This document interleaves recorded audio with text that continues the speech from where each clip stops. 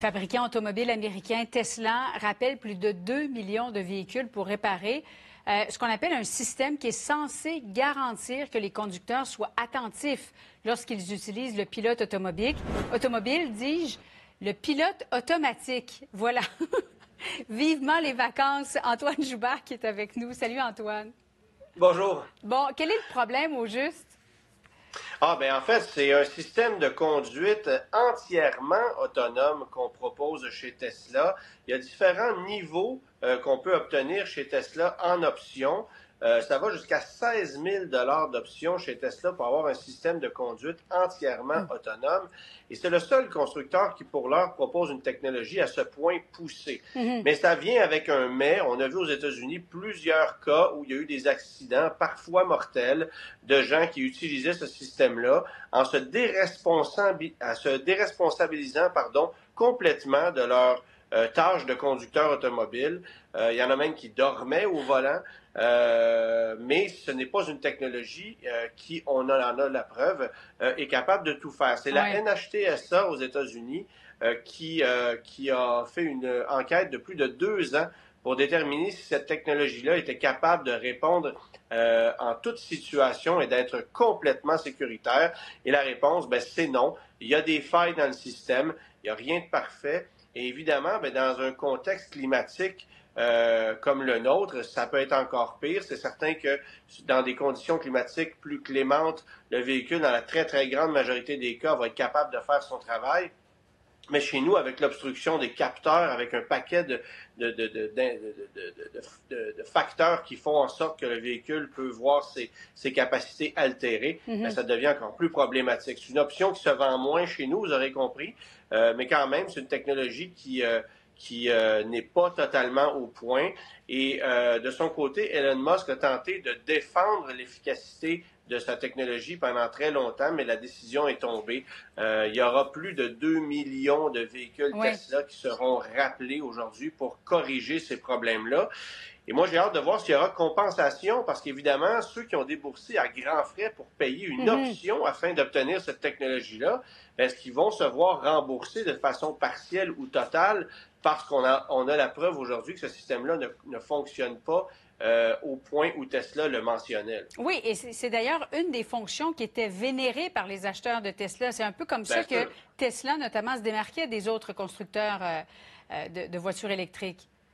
Ben moi, je peux vous dire, pour avoir essayé cette technologie, mm-hmm. qu'elle est plus efficace que ce que proposent les autres constructeurs. On a poussé la note un peu plus loin. On a vraiment une technologie qui est impressionnante. Mais on ne peut certainement pas se vanter d'une technologie qui est infaillible. Et c'est là-dessus qu'on vient jouer parce qu'évidemment, euh, il y a encore une responsabilité de la part du conducteur qui prend le volant de son véhicule, même si on exploite une technologie comme celle-là. Alors que chez d'autres constructeurs, comme chez General Motors, par exemple, on propose un système de conduite semi-autonome qu'on appelle Super Cruise. Ben, il y a une demande d'intervention de la part du conducteur qui est nécessaire de façon sporadique. Euh, alors, ces technologies-là, on les voit chez tous les constructeurs, mais Tesla a poussé la note vraiment plus loin. Et c'est vrai que c'est une technologie qui est impressionnante, mais qui n'est pas infaillible, et c'est là-dessus qu'on joue. Bon, le rappel, ce sont seulement euh, des véhicules aux États-Unis ou éventuellement les propriétaires de Tesla au Canada vont pouvoir, eux autres aussi, euh, bénéficier de ce rappel? Bien, absolument. Ce n'est pas uniquement des véhicules aux États-Unis. Euh, Je n'ai pas les détails de, tous les véhicules pour l'heure.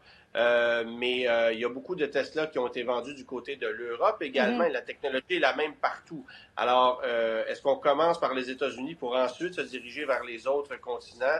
Fort probablement. Mais 2 millions de véhicules, ça veut essentiellement dire une production quasi totale de tout ce qu'on a vendu en Amérique du Nord jusqu'à maintenant. C'est l'ensemble mhm. des modèles. Parce qu'il faut comprendre que cette technologie-là, elle est souvent déjà intégrée dans des véhicules, même si on n'a pas sélectionné l'option. La technologie, elle est, elle est euh, préparée dans le véhicule, elle est prête à être activée et il faut payer un, supplément pour voir cette technologie-là activée. Mais la mécanique qui la fait fonctionner est déjà présente. C'est pourquoi on rappelle la quasi-totalité des véhicules, parce que c'est pas tout le monde qui a hmm. payé pour avoir accès à l'option. Antoine, est-ce que c'est une réparation, une simple mise à jour que ça va prendre un peu comme nos cellulaires? Alors ça, on verra. Ça sera une mise à jour, certainement.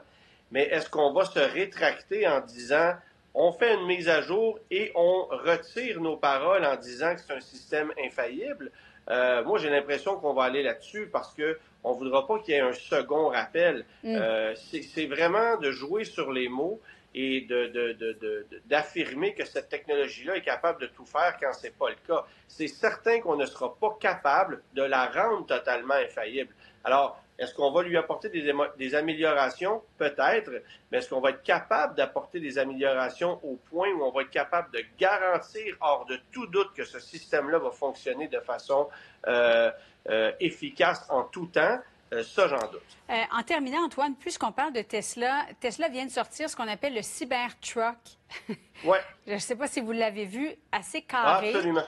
blindé, ça ressemble un peu à un véhicule militaire. Je ne sais pas si on a une photo, mais interdit en Europe parce qu'on juge que les, les angles sont trop agressifs. Est-ce qu'on est, est-ce, que c'est un, ça va pas créer un précédent, ça?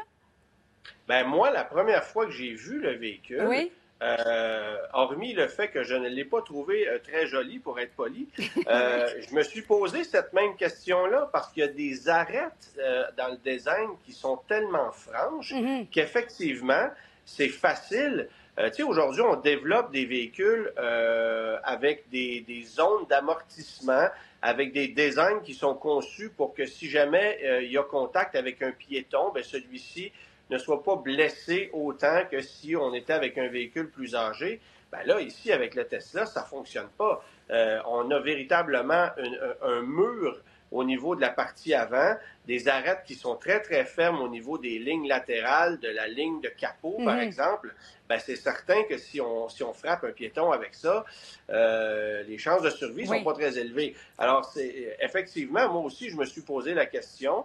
Euh, cela étant dit, oui, j'ai vu le véhicule, j'ai pu l'étudier un peu sans le conduire et je peux vous dire qu'au niveau, du, au niveau conceptuel, mhm. c'est très audacieux et ça promet. Moi, j'ai hâte de voir ce que ça va donner sur le marché un peu plus tard, mais je ne suis pas surpris de, de ce, de ce questionnement-là de la part de certains pays euh, qui veulent bannir le véhicule en raison de son design. Antoine Joubert qui est avec nous, chroniqueur automobile au Guide de l'Auto. Merci beaucoup, Antoine. Au plaisir. Grand plaisir. Au revoir. Au revoir.